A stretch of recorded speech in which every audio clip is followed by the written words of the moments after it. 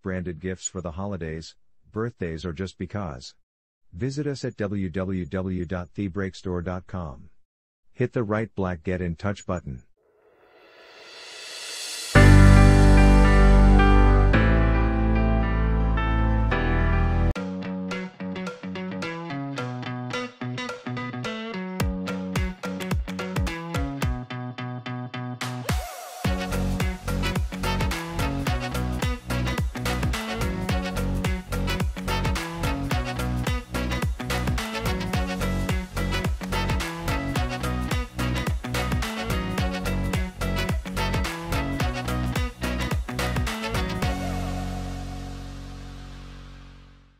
Welcome to a podcast show about stuff. It's the show about stuff, the Stephen Davis Show. Here's you host, Stephen Davis.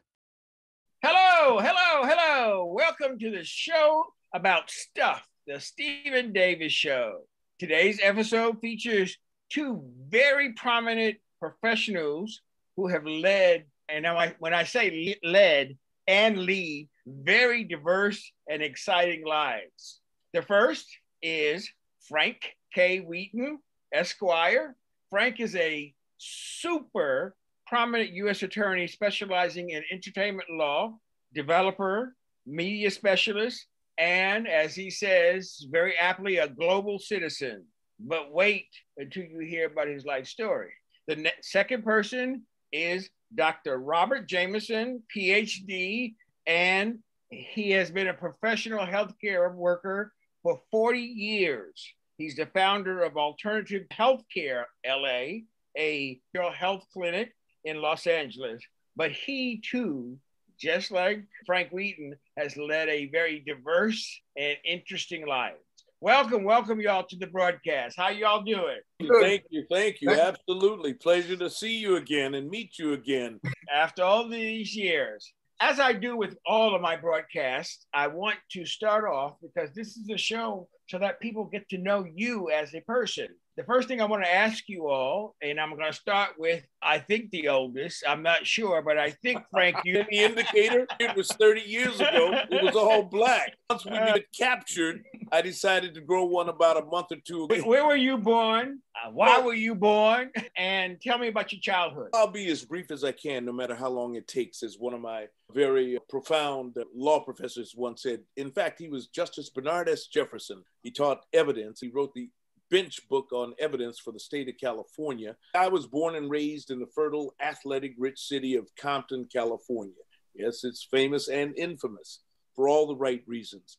My parents immigrated like most first generation African Americans to the city of Compton in the early 50s. And in fact, my mother is one of the two or three last owners on her block. And unfortunately, I'm doing her estate now as we speak.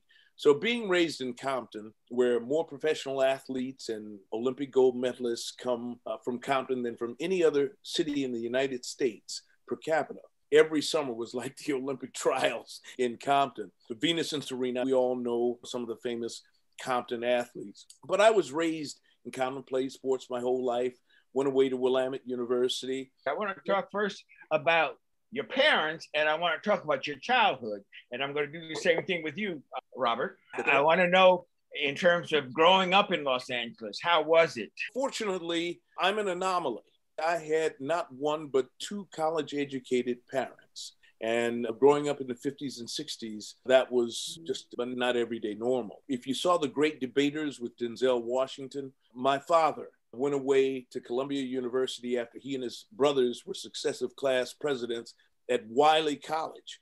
He went to grad school there, came back, and became the Melvin B. Tolson Chair Professor. And he met a 17 year old young debutante who had skipped a couple of grades, wound up in his English class, and as they say, the rest, uh, they were in California the next year. Uh, all of my parents were students at Wiley on both sides, my mother and my father. Was your father on the debate team? Of course, he taught the debate team. He was one of the first African Americans to receive his master's in speech and theater arts from Columbia after okay. he left Wiley. So when he came back, Melvin B. Tolson, who was a speech and debate professor who had taken Wiley to beat Harvard in the speech and debates across the country, my father assumed that position when he returned from Columbia University. And that's mm-hmm. where he mm-hmm. met my mother. Okay. And that's the formation of my childhood.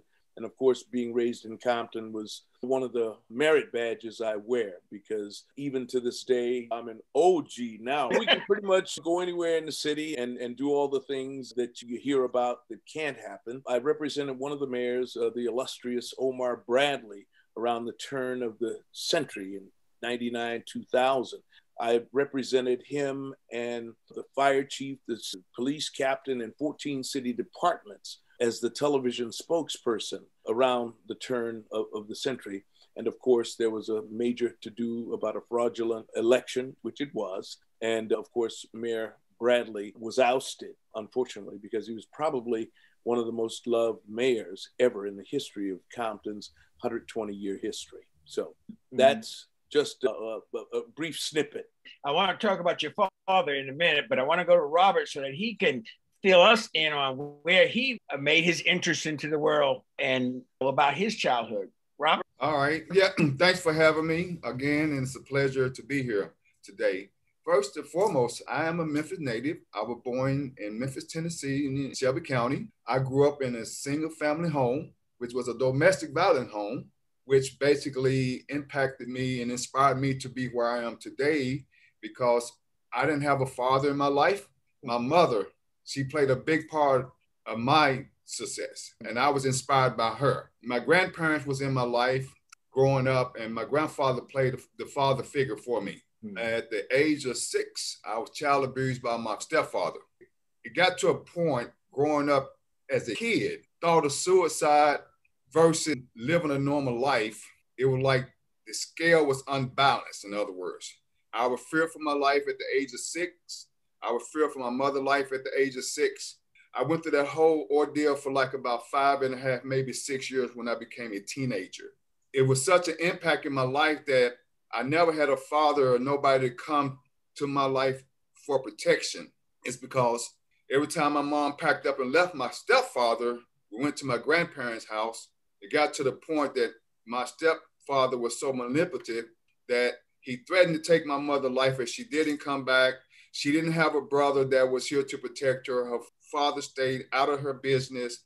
Therefore, I kept going back and forth, going back and forth. She get beat up tonight, we'll leave the next day and stay for a couple weeks, then she'll go back. But anyway, the transition was back and forth. So after he tried to shoot me up with heroin, it got to the point where my grandparent told mom, say, hey, if you don't leave this man, he's gonna kill your son, or your son gonna grow up and kill him. And Lord behold, killing him was on my mind. I never discussed that with my mother, but as I got older and got gang affiliated, got into the gangs, my motive was to kill my stepfather. And I'm not, I'm not saying this because it's, it's behind me now, so it's, it's irrelevant right about now. But growing up, because he, he treated me so bad, like literally, I was a smart student, an A and B student, but it was nothing that I can do to keep him satisfied. So almost every evening after school, I was getting a butt whipping for nothing. Maybe because I looked at his daughter the wrong way and he didn't like that. Maybe I took up for my mother when he was trying to argue with her, beat her up. He didn't like that. So I was like an enemy behind the scenes of trying to live a normal life. But I was an A and B student through grade school. So as I got older, I think the last time he beat me, my butt was shredded snakeskin. I went to school. I couldn't sit down on my rear end because if I did, it was so sore, all I can do is cry.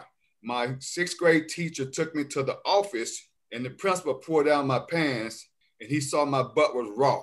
And that's when the, the guidance counselor and the school got into got involved with the situation, called the police, they observed, they went and locked them up and he was arrested for child abuse. But he had a history record of drug abuse and all these type kind of thing that kept him in and out of jail. I took that to heart.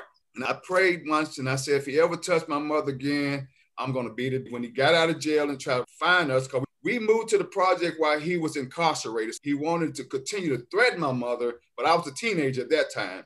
And I was able to get involved into a bad environment where it was gang related. So guess what? I got into a gang. And I had three siblings that were super older than me, which that was my big sisters. So every guy growing up in the projects, they wanted to date my sister. Trust me when I say they were fine as all outdoors. These girls were well put together. So you know these cats gonna be at my sister's. So as they bond their relationship and mom accepted as being their boyfriends and whatever the case might be. And we grew up in the hood. This was back in the 70s now. So the moment he got out of jail, my mother worked at this restaurant called Howard Johnson, which was like about two and a half miles from the project. So she used to walk to work. So he didn't know where we was at. So he went to the job and followed her to see where she was going when she got out for work. And so that's when he knew, guess what? They live in Lamar Terrace. That's the project in Midtown, Memphis, Tennessee, where I grew up in. He followed mom home and used to hide behind bushes in the, up under the viaduct when she was walking to work. So one morning he walked, he just popped out of clear out of the clear and scared her almost to death. He didn't do anything to her, but he told her, "Say, I'm going to get you. I'm going to get you. I'm going to get you back." My stepfather, he followed my mother until she came home one day so scared that she told me that he was out of jail. Be careful because he's going to come back and get us. But by that time, I was a teenager, so I was ready for him to come back and get us. Trust me. And I told my mother, I said, the next time he lays hands on you, I'm going to hurt him. Re- reflect back to what my grandfather told her. If you don't leave this man, he's going to kill your son or your son going to kill him. So when he attempted to touch my mother again, I jumped in front of that punch. And Lord knows he hit me in my chest. But by the time he hit me in my chest, I came out the back of my back with one of the mini Louisville slugger bats and hit him right across his kneecap and broke him down to he was like my size and I had a gang of guys around me. So what was he to do? You know what I mean? But to surrender. Mm-hmm. So long story short, his abuse to my mom inspired me to be to where I am today because I was gang affiliated at an early age. I was doing drugs, I was drinking, hanging out with the guys at an early age. But the most important thing that I did not want to do was to disappoint my mother. The day I went home intoxicated, I was 18 years old. I started working at the age of 14, so I was able to support my own habits. She didn't have to give me money, I didn't have to steal from anybody. But I started working at the age of 14 in the park picking up papers. Wasn't making about $2.25 an hour, but it, for a kid 14, 15 years old, that was some form of revenue. I was able to give my mom money to pay bills to help contribute to the cost of living. But mom always gave me 50 bucks out of that paycheck and she kept the rest. But at the age of 16, as I got into high school, I started working as a oyster shucker in a restaurant just to provide a check to pay, pay bill because keep in mind, I grew up in a single family and mom needed help. So the past was behind us. He had strayed and left us alone so we was able to live a normal life. I was able to go to work and continue to help. At the age of 18, one of my best friends got shot in the game. I was with him. The bullet could have hit him and my other friend. But God let that bullet pass me and hit my friend in the abdomen. He was wounded. We called 911. The ambulance came and picked him up. That taught me a lesson that if I didn't get my act together with my kid born at the age of 13, 14 years old, I wouldn't be around to help raise him. My mother told me, she said, Man, you're not going to be nothing. These cats do not care about you. You're going to end up just like everybody else, either drug addict or alcoholic, or you're going to end up in jail or dead. When she cried, that touched my heart. I opened up my first professional business at the age of 19 on the God gift talent of upholstery. I knew how to sew, I knew how to cook. I started working at a upholstery shop at the age of, like I said, 19 years old after high school. I was a pillow stuffer and I learned how to stuff pillows to go on the sofas and stuff like that. But two years after that, the boss that I was working for, I went to him and said, listen, I want to open up my own upholstery shop and I see you got space in the back could I rent this space in the back and and pay out my check as I grow my business? Within three years, I grew my business. What was called Jamison and Associate was a custom furniture upholstery shop. Okay, now I want to stop you here because you're getting ahead. I want to go back to Frank. And Frank, I want to talk about your father. Uh, your father was an interesting person. And I didn't know that I knew who he was until I looked at your information and I said, Sanford and Son, the Undertaker. Interestingly, Dr. Jamison touches the heart and hearts of so many because most of us, not many, most of us were raised by single parents. I'm no different, even though I revere my father. and certainly all that he brought to my life. At 11 years old, my parents were divorced, and my mother raised us on $12,000 a year. And uh, my heart throbs when I think about what she sacrificed. My first job, Robert, was at the Watts Labor Community Action Center, $1.35 an hour, go figure. But right. and we walked to work every day. But the most important thing before I jump back to my father is that when I was 12, I wanted a, a job and I wanted to throw papers like the big boys. So I went down to the LA Times. They gave me a job because I knew how to thread and, and string the, the papers and everything else. They said, come to work tomorrow. Came to work tomorrow. All the only bike I had was my sister's. 2.30 in the morning, I get stopped by the police, say, where you going, son? 2.30 in the morning. Well, I got a paper route. I got a paper route. They said, no, son, we got to take you back home. Took me back home. And from that day forward, for the next two years, my mother got up at 2.30 in the morning, picked up my sister, put her in the back seat, took me to the LA Times, strung 75 papers, threw them all, came back home at 5.30. Then she cooked us breakfast and went to work every day. And when she retired, I cried of gratitude for all of the workers that supported her in her efforts to raise us. So I get where you're coming from, Dr. Jamison. That's why my loss for my mother is I'm still unbalanced, just so important uh, to our lives. But my father was a great man as well. Just the marriage didn't work, but he stayed in our lives, which was consequential. My father was the son, one of four sons of, of a very disciplined Methodist minister. And by the time they got of college age, they all wanted to get out of the house because they had been disciplined. So they all became very educated. My father, as I said, went to Columbia University and the master's there, one of the first African Americans to do. My next uncle went to Wharton first, got his MBA, and then said, I want to be a doctor. Went to Howard University, became a medical doctor, super successful in Meridian and Hattiesburg, Mississippi. And then my younger uncle became a lawyer. So education and discipline were intended and demanded in, in our household. My, both of my parents were English grammarians, so they they knew what dangling participles were. I knew what it sounded like when it was wrong, but I didn't necessarily know the rule. Uh, I'm like a musician who could play, but I didn't read music.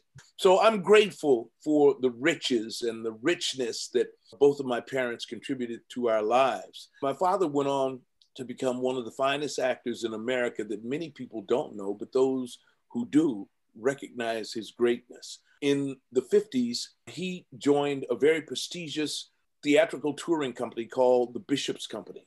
He became the first and only African American member in 1951. 50 wow. years later, he would write a book called Masks Before the Altar, but not before he worked throughout the 50s because he had such a tremendously beautiful, mellifluous voice wow. that was rich and, and just resonant. But he was a very humble man. So he would work consistently in Hollywood. In fact, he would do all the voiceovers. People didn't know whether he was black or white, assumed he was white because wow. of the crispness of his voice and the perfection of his craft. Throughout the 60s, he worked Ironsides. Throughout the 70s, he, he Sanford and Son, Good Times. He had regular series, recurring roles in all of them, but not before George Lucas heard his voice and said, Wow, I want you to star in my first sci fi film called THX 1138. My father played four roles the voice of OMM and three additional roles. George Lucas loved him so much that he and he fought the studios against Orson Welles for that same role. My father won out. The next film George Lucas had was, of course, Star Wars. And George Lucas chose my father again. And unfortunately, I teased my father throughout the remainder of his life until he had the last snicker because I found out that James Earl Jones, the role he was up for, James Earl Jones, who played a wonderful Darth Vader by voice, was only paid as a voiceover artist. He was not paid as an actor with recurring residuals forever. So that's the snicker my father got, whereas all the other characters probably have residuals forever. But I would think that the most important contribution that may never be known, and I hope I can make it differently in Los Angeles, my father created and produced what is now known as uh, Black Broadway. The Ebony Showcase Theater throughout the 70s spawned more African American starred plays than probably anywhere else. From Purlie Victorious to Carnival Island to Norman Is That You, that George Schlatter sat in, in the audience and watched my father, who created that role of Norman's father in Norman Is That You, that eventually starred Redd Foxx and Michael Warren. Nick Stewart was my father's producing partner. Nick played Lightning on Amos and Andy. And, and, and they had a wonderful relationship because my father was the creative producer and Nick ran the business of what is now the Nate Holden Cultural Arts Theater in Los Angeles.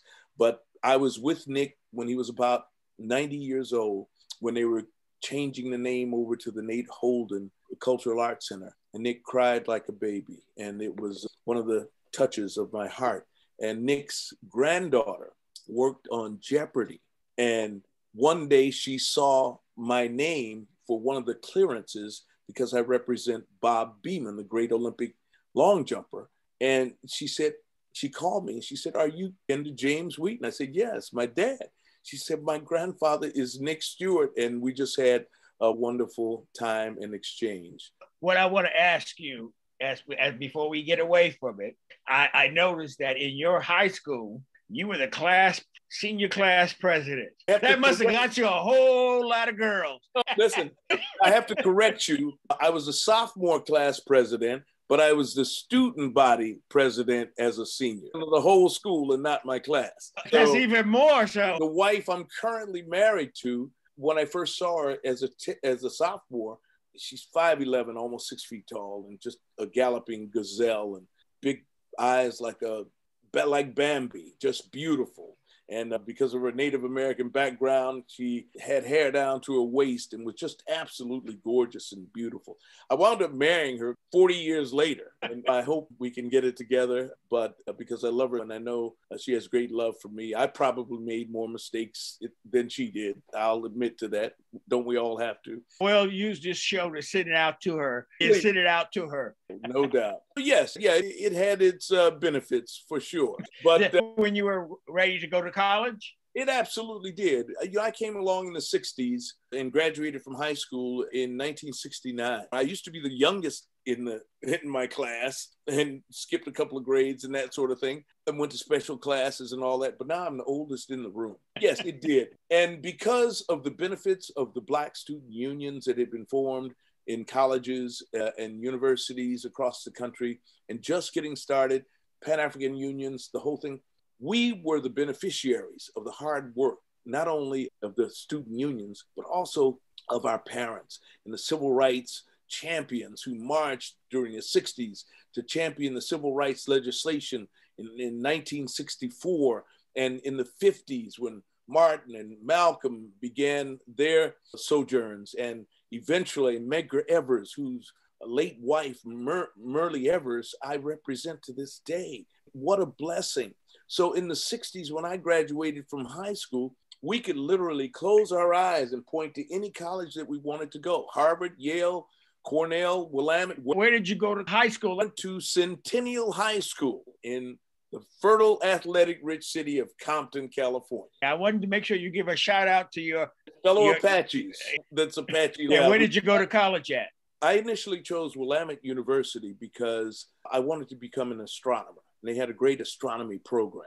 And they were probably the Ivy League University of the Pacific Northwest. Hmm. And along with Reed College and Willamette University. There were a couple of extremely private yet very rich universities. There were only nine African American students when I went to Willamette. The next year, I recruited that to be 19. We brought Julian Bond in for Black History Week and all of that. Unfortunately, a tragic car accident where I lost my childhood sweetheart who had graduated, who had decided to transfer up with me, and my best friend in college they were both taken to heaven right away.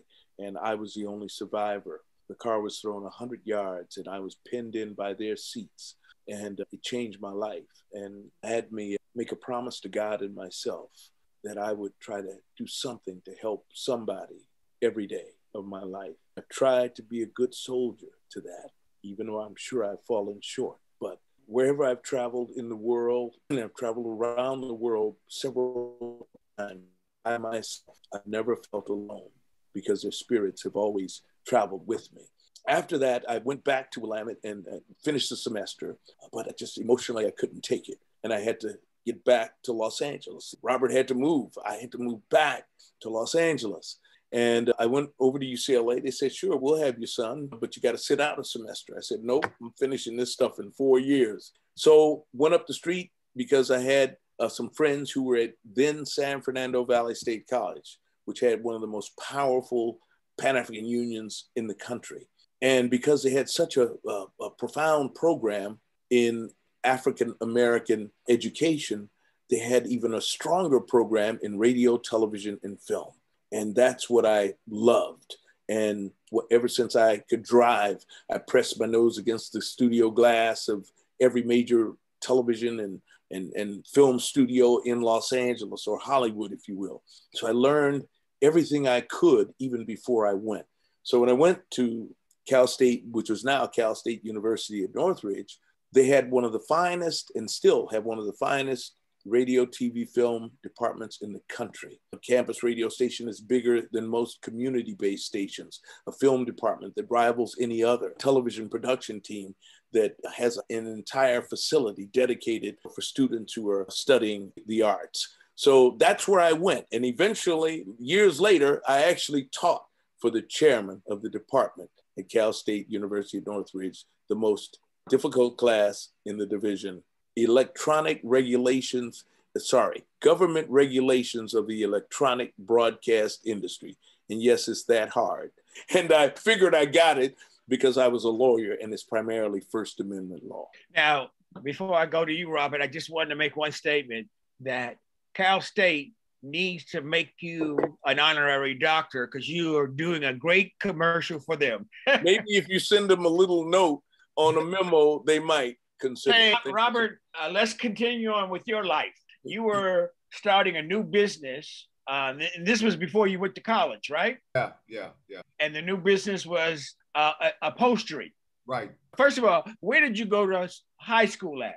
Booker T. Washington? High school. I had two people on uh, a couple of weeks ago that went to Booker T. Washington. A lot of my friends went to Booker T. Washington because we grew up what they call in, in, in Midtown Memphis, in South Memphis and North Memphis. So we had opportunity to choose whether we want to go to the, the north side of, of, of Memphis school or the south side of Memphis school. So I decided to stay in the Midtown area, and that's where Memphis Technical High School was at in the Midtown Memphis. I, I keep forgetting you're a young man. You didn't have a choice back in them time when they were talking about they went to high school. You went yeah. to Booker T. Washington as you were black. Than me because at that time I think they had to go to the school that was in their area. You know what yeah. I mean? We as young, we call it the young kids, we can pretty much, you know, go to any school we wanted to go to, take you to certain schools. And if you need to be held back, you can go to this school. But back then, they didn't have choices like we had choices. And I, I give kudos to my ancestors, really. I, I admire them and I was inspired by a lot of them. Kids don't grow up like we grew up then. We couldn't talk back to our neighbors. We couldn't use all this profanity back to our parents. But hey, I'm grateful for what I've been through throughout my entire life. But okay. back to the job industry, my mom, she was a great influence in my life. And, and I was reluctant to let her worry about not having a man in her life to basically help support her. So I had to step up to the plate. Jamison and Associate brought me a long way because that's how I was able to get into healthcare. I had big contracts with the hospitals in the city of Memphis, some of the casinos that was coming up back then in Tunica, Mississippi. So I uh, had a big contract at a physician office. I wasn't in the medical field and I was like 19, 20, you're going on 20 years old. And he said, You're a very talented guy. You should always continue to seek a career and not depend on a job because a career can take you to a lifespan. And when a job will, you're limited to one area. So I started thinking about that. I just said, I'm running the streets with my friends, not doing that, but messing off a lot of money. So I might have put this time to use.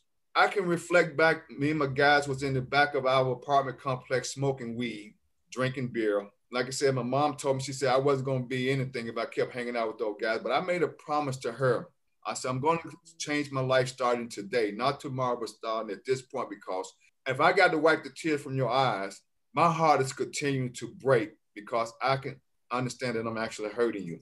So I got up the next morning. I went to the hospital. I took that doctor's advice and went and applied for a job in the hospital as a, a patient escort because you had to start somewhere to get to the upper levels back then because you, have those 90 day probation. But anyway, I started as a patient escort.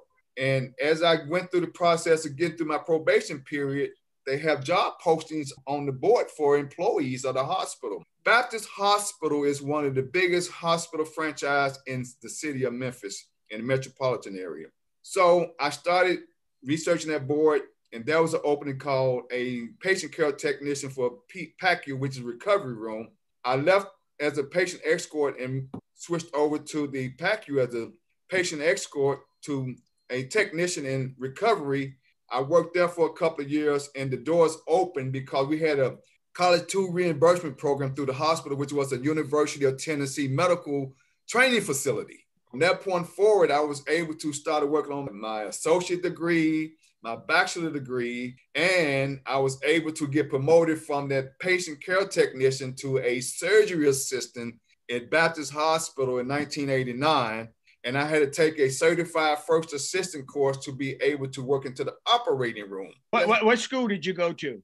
Uh, University of Tennessee, Memphis campus. Like I said, I worked with a lot of doctors at that time. I started as a patient care technician in, in PACU, and I've switched over to surgery two years from that as a certified surgery first assistant. Then I, I got off into the fellowship program and started fellowshipping as a physician assistant in surgery. I did that for 10 years.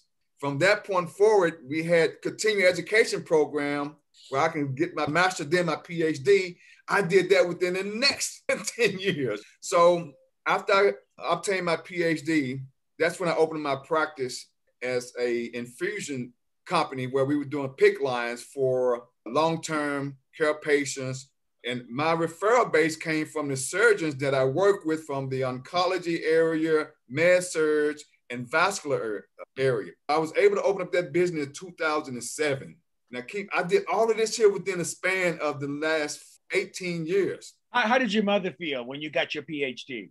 She was excited. Everybody was excited for me. Like literally coming from the projects as a black African American guy, no one supposed to be where I was at at that time, and literally no one supposed to be where I am today after coming from the projects. No, that don't happen in our generation. So my mom, she was very happy. I was influenced by her. So I gave her all the credit. I didn't take the credit. I gave it all to her because I wanted to make her happy. I didn't have a father. I got a chance to meet my father when I was 18 years old. By that time, I was getting ready to graduate from high school. He never paid child support. He never put food on the table for me. He left me as an infant going out to get Pampers. When the next time he saw me, I was 18 years old, getting ready to graduate from high school. Show you how God works the very same man that turned his back on his kid and my mom ended up at, during his death time. Me as a healthcare professional had an opportunity to take care of him while he was in the hospital on his deathbed. He died at the hospital that I was working at. At that time, I was a surgery physician assistant in vascular and neurosurgery. Yeah. So as the process went before he died, he told me, he said, I'm sorry for everything that I did, and I appreciate you being here for me because as an employee at the hospital, that patient as a relative got the best care than a normal person hospitalized in a facility It's because his son was an employee at the hospital and they didn't want to mess up on anything they had to do with dealing with this health. It was the same way when my mom ever went to the hospital. She came to the hospital I worked at because she knew she'd get the best care because her son was a medical professional at this hospital, and the doctors, the nurses, the technician, the anesthesiologist, everybody knew me, and everybody embraced her. So yeah, I had I had a phenomenal life while my mom was here. Now, Frank, you were at college. You graduated from college, and then it came time to get it out into the real world and get a job. What did you do? Again, as I indicated, during my college years, I was one of the first African Americans to work at uh, what was then KEDC, but now I believe it's KCSN radio, along with another brother, Arnold Boyd Pomoja, who went on to Temple University and worked there until he unfortunately passed away. But I worked at the Pacifica Radio Foundation. Again, I worked jazz shows on the weekends or whatever shows I could work. And then I discovered a brand new radio station that was the hottest station in the country. And I had to where I was compelled. I said I was just going to move to Washington as I did with $300 in my pocket. I lived in the attic of what was now uh, my adopted grandmother and, and, and mother, surrogate mother's home until I got a job. I rode bicycles at night to go steal the throwaway Wonder Breads and all the stuff I don't eat anymore. and then eventually, WHUR called me. The most wonderful uh, time at WHUR, Catherine Liggins Hughes, who owns Radio One, she was the advertising manager. So uh, I worked with Kath, Catherine, Kathy Liggins, who's also the godmother to my children. How about that? Then uh, when I went over to NBC, I worked with Dewey Hughes, who became her husband. And how about that's the Kathy Liggins Hughes? But most importantly, I worked the Daily Drum, which is a show that still runs to this day, almost 50 years later. And uh, we just had our 40th celebration about five, six, seven years ago. Everybody was there, Deanna Williams. Unfortunately, the guy who came on after me came to me when he was a student and he said, What do you think about this concept? And he played Smokey Robinson's The Quiet and Lindsay. Still runs to this day. Unfortunately, Melvin passed away. But before he did, he asked one thing of my then wife and me. My then wife is the very wonderful singer and concert artist, Jean Carn, who had number one hits and was with Philadelphia International Records, home of Teddy Pendergrass, the O'Jays, all of them, Evelyn Champagne King, you name it, they were there. CBS, Motown. He asked Jean if she would sing at his home homegoing, and she did.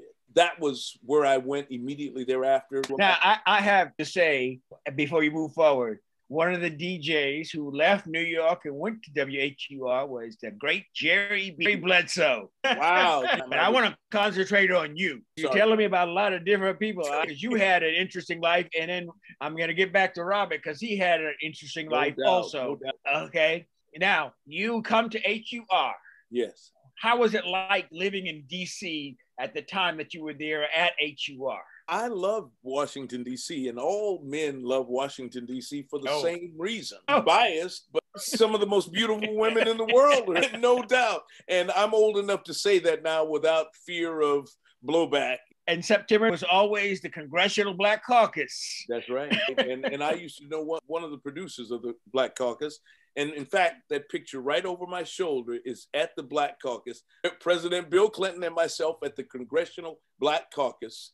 So, yeah, Washington, D.C. was absolutely phenomenal for me. I got a chance to work in all facets from HUR radio. I went to NBC. And once I went to NBC, I realized that there was still a glass ceiling for Black people in the broadcast arena. Max Robinson was a personal friend of mine who was the first Black anchor on network television for ABC. I realized after coming in with a first class broadcaster's license, the highest that you could get at the time, don't even need them anymore, that no matter how many licenses I had or whatever I had, the time was just not right yet to have African Americans appear on daily broadcasts. I knew I was as good as any of them, yet I knew the opportunity would not reach me. So I walked out on Malcolm X's birthday in 1978, and I've worked for myself ever since. Now, tell me, did this come before or after all the commercials and things that you did?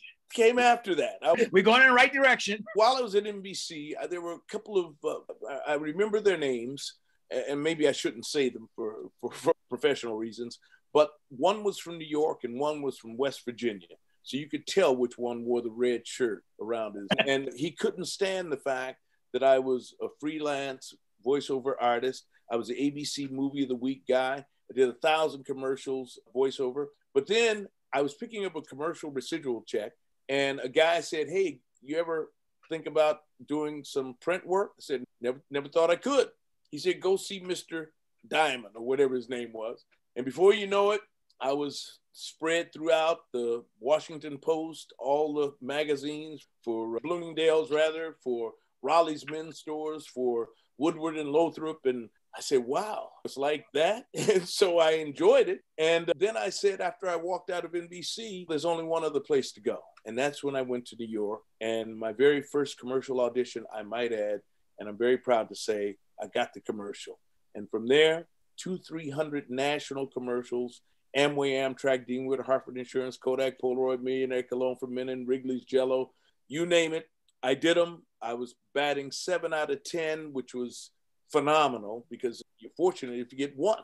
But as a former broadcaster and journalist, I had no idea that when I heard one of the finest casting directors in New York say, Blacks cannot read, I was insulted. What do you mean they can't read? What she really meant was read for commercials. And so she said, "Here, go and take a look at this these sides, which is the script. Come back and read it for me." I said, "Well, I'm ready now." I didn't know you could go study for a little while, but right. I come from the old school, rip and read. We come to, from the old school of DJs. We spin our own records, play our own cards, rip and read the public service announcements, the commercials, or whatever, all at the same time. These days, the announcer counts down he sees the clock and he doesn't and he stops talking when the clock gets to zero because somebody else is on the other side operating everything. So oh, wow. working with john chancellor david brinkley barbara walters sue simmons willard scott i mean my wealth of learning experiences at nbc allowed me to become one of the finalists as one of the dateline reporters. Wow. Wow back to you, Robert. It's your turn in terms of picking up from where you left off. Oh my God, Frank just blew me away. I'm just so inspired about all his attributions, man. I As I am you, Robert. Your story tugs my heart, man. Oh wow. Well, I mean, I'm just listening to you, man, and, and the affiliations and all the production that you have done over the years. I'm definitely inspired by you, man. This encouraged me to move a little bit harder. After all the good things that I've done back in the, in my days, I had some bad deeds that you know that I had to put behind me and lift the burden off my shoulder. Don't call the kettle black, right? No, I don't. I think my pain turned into not just only a purpose, but a possibility to move forward and leave the past behind me. In 2009, I paid the price, a huge price that could have cost me everything that I ever worked hard for in, in my whole entire life. I got caught up in the system. I got caught up in the system not because I was a criminal. Now, Stephen, we, we talked about this briefly friendship and not reading contracts. Yes, it cost me my freedom. It cost me some disappointment. It cost me pain, anxiety, depression, PTSD, all sorts of behavioral. After all the success that I had done from the time of being published in the Memphis Business Journal, all of my accolades that I had accomplished could all wiped away. Please join us for next week part 2 episode with Frank Wheaton and Dr. Robert Jamison. That's it for the show about stuff, the Stephen Davis show. Stuff. I appreciate you all being here and thank you so much. Thank you for tuning in this week. Hope you enjoyed this show about stuff. See you next time. Oh, my name is Jewel, you don't need to know who I am, but you should know why I'm here. My grandpa, Stephen, is an author of a new exciting play called When the Break Happened in Orangeburg County. It's about our ancestors from when the break happened in 1865 until now. Many of my relatives are featured in the play from my great great great grandpa Stephen to my great grandpa Stephen to my grandpa Stephen. Guess what my uncle and cousin's name are? Stephen. Go to www.thebreakinorangeburg.com to learn more. An online store has been created to honor those relatives and other families with products featuring the Break logo. Go to www.thebreakstore.com to purchase items today and help to produce this play. Please.